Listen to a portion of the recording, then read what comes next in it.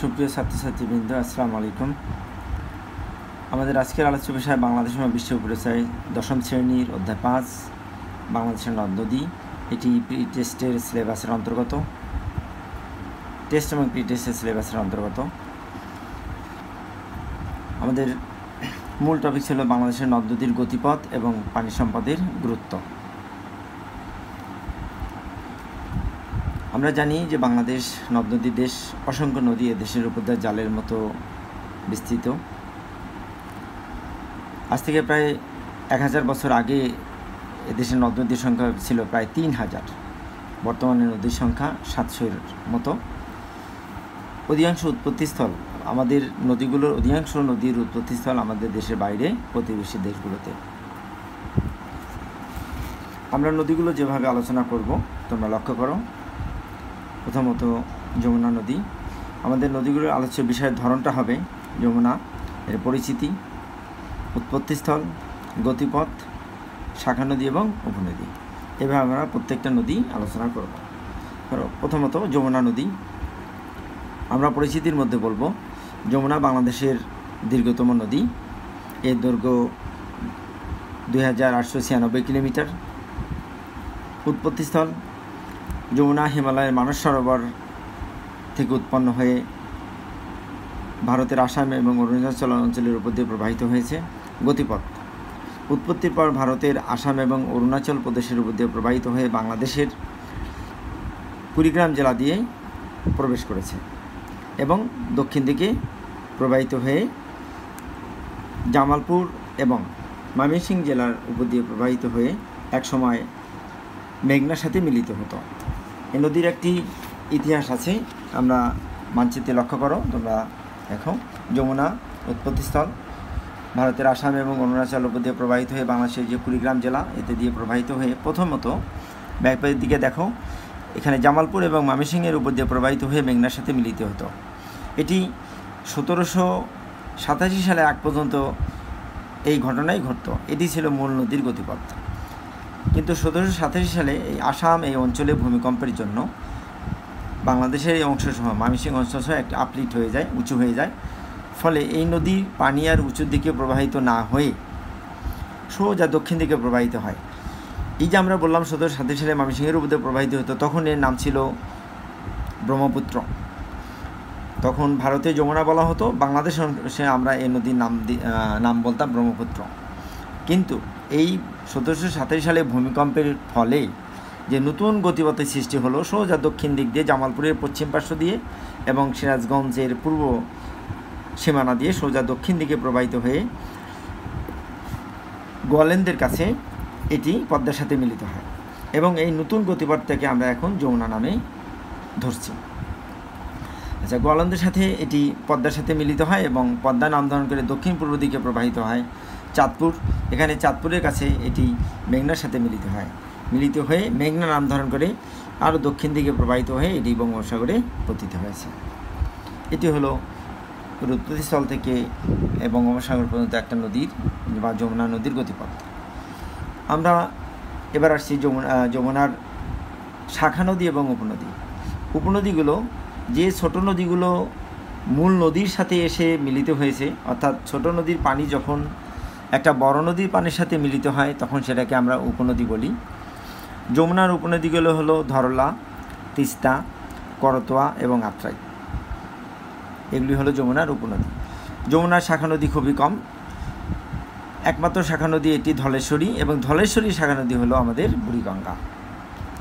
ধলেশ্বরী এবং এর শাখা নদী বুড়ি, বুড়িগঙ্গা।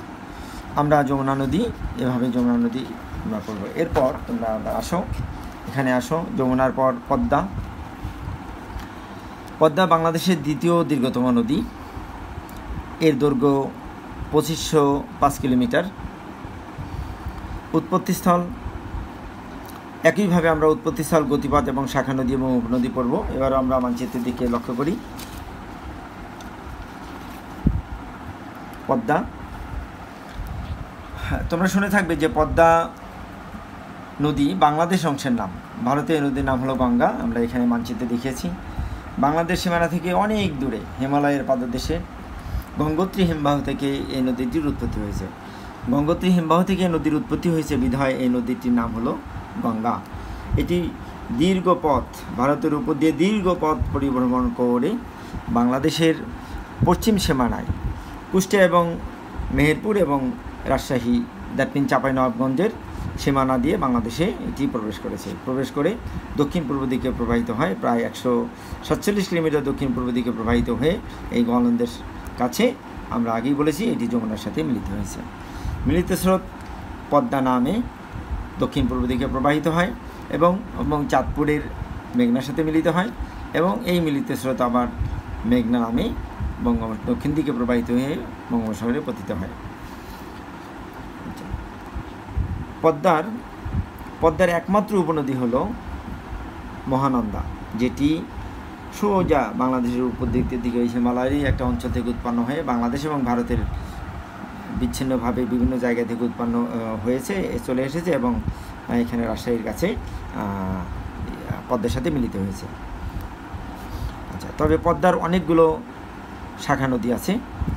এই শাখা নদীগুলোই আমরা এখানে আর আরেকটা একসময় একটা প্রধান শাখা নদী ছিল, সেটা হলো ভাগীরথী, যার তীরে তোমরা লক্ষ্য করে এখানে এখানে ভাগীরথী নদীটা, এখানে কলকাতা শহর অবস্থিত, এই ভাগীরথী নদীর তীরে কলকাতা শহর অবস্থিত। এটি একসময় যমুনার পদ্মা তথা গঙ্গার, পদ্মা তথা গঙ্গার মূল স্ট্রিম ছিল।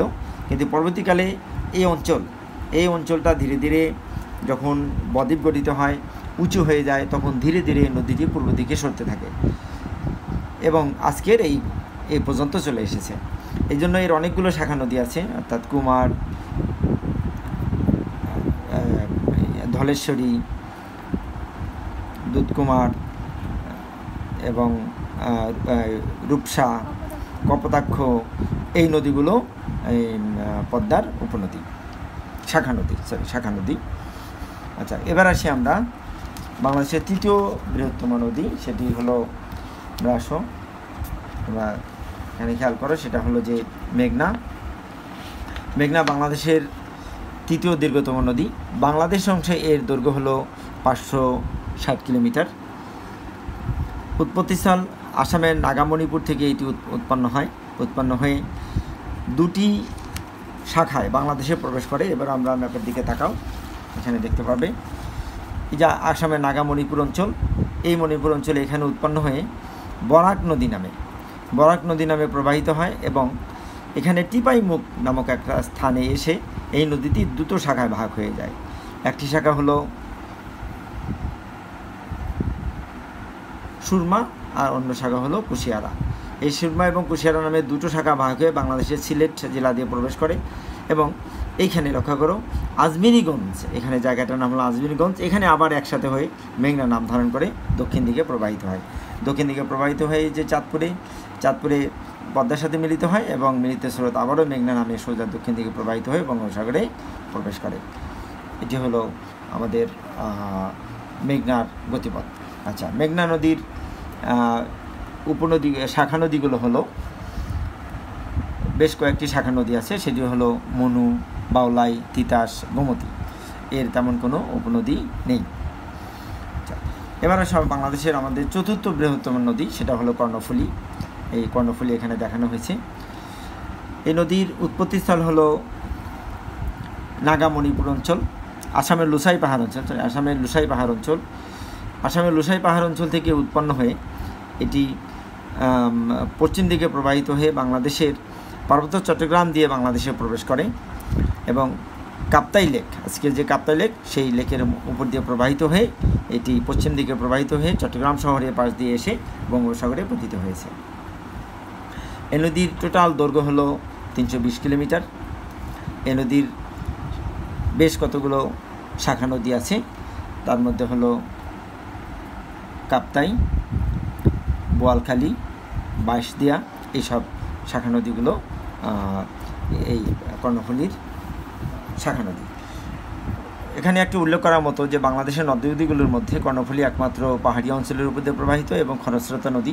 এই জন্য কী করা হয়েছে? এই কাপ্তাই নামক স্থানে বাদ দিয়ে আমরা এখানে জলবিদ্যুৎ উৎপাদন করছি। এই বাংলাদেশের প্রধান প্রধান নদীগুলো আলোচনা করা হলো। এবার আমরা আসি বাংলাদেশের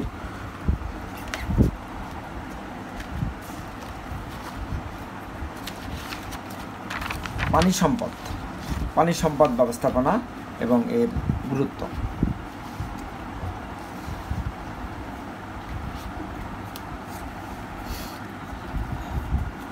পানি জীবনের অপরিহার্য অঙ্গ। পানি ছাড়া জীবনের অস্তিত্ব সম্ভব নয়। আমরা জানি ভূপৃষ্ঠের একাত্তর ভাগ পার্সেন্টই হলো পানি।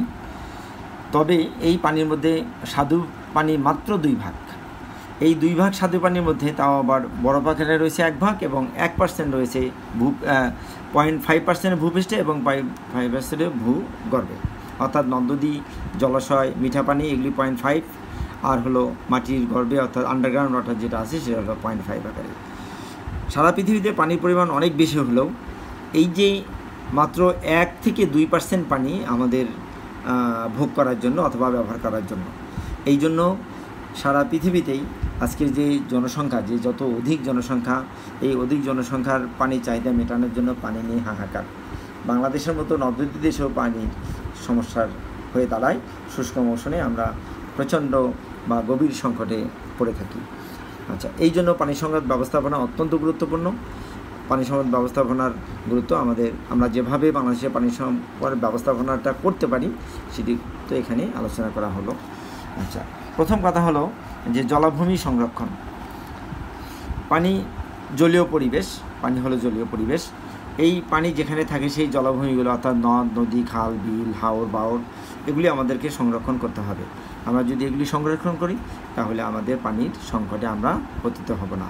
আমরা শীতকালে যেহেতু বর্ষাকালে আমাদের পানির অভাব নেই আর ওভারফ্লো হয়ে যায়, পানির সমস্যা হয়ে দাঁড়ায়, কিন্তু শীতকালে শুষ্ক মৌসুমের পানির সংকট দেখা দেয়, তখন আমরা আমরা এই জলভূমি থেকে আমরা পানি ব্যবহার করতে পারব।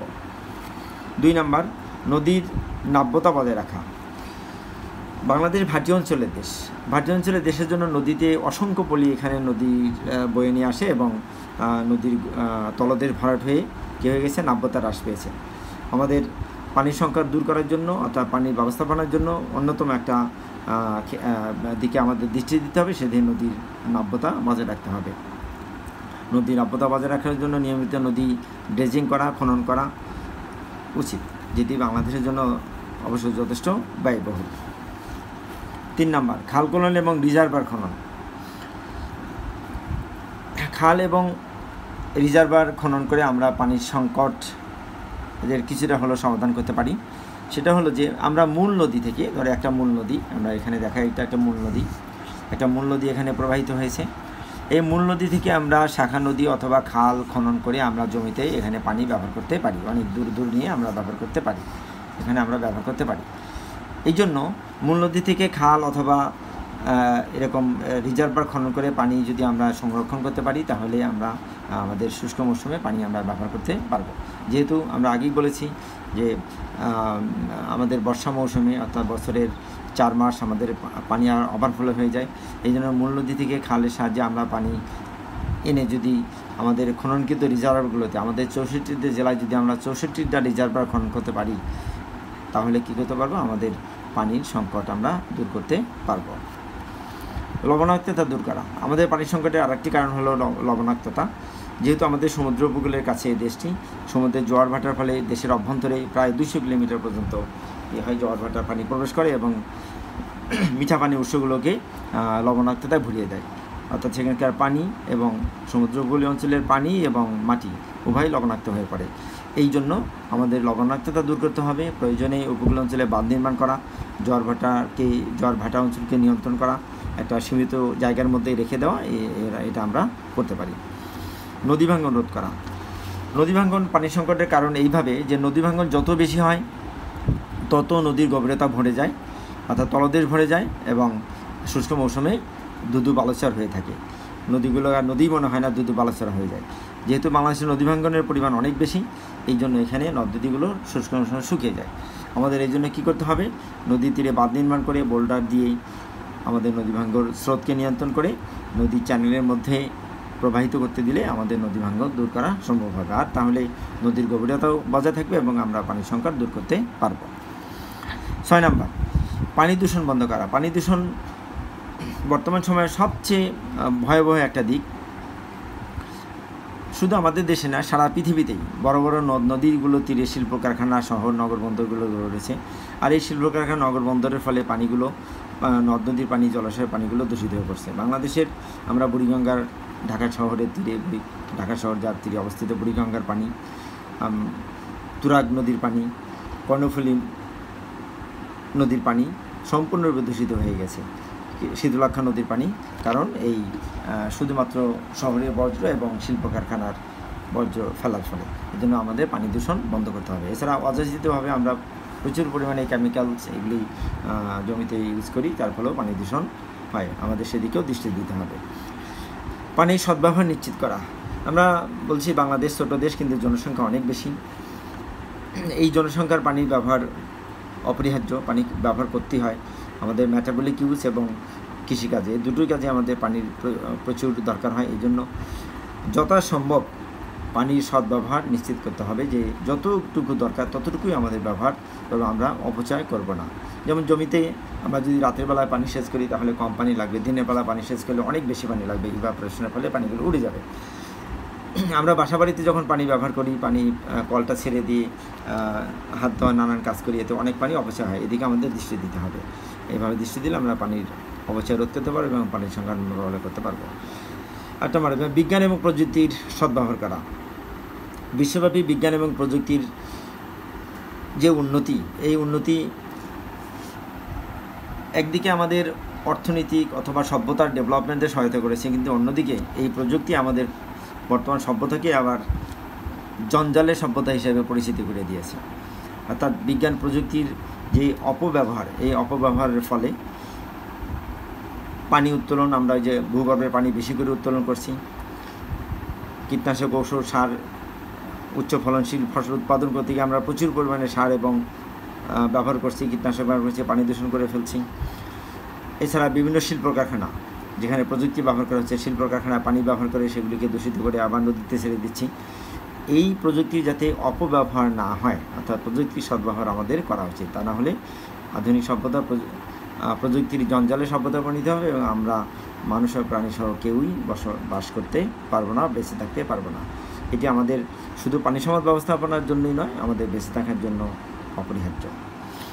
এখন আমরা আমাদের এই অধ্যায় থেকে যে প্রশ্নটা হতে পারে, সৃজনশীল প্রশ্ন হতে পারে, সেই বিষয়ে তোমাদের আমি ধারণা দিচ্ছি। যেটি আমাদের স্বাভাবিক ক্লাস যখন চলবে, তখন তোমরা এই সৃজনশীল প্রশ্নটির উত্তর তোমরা লিখে আনবে।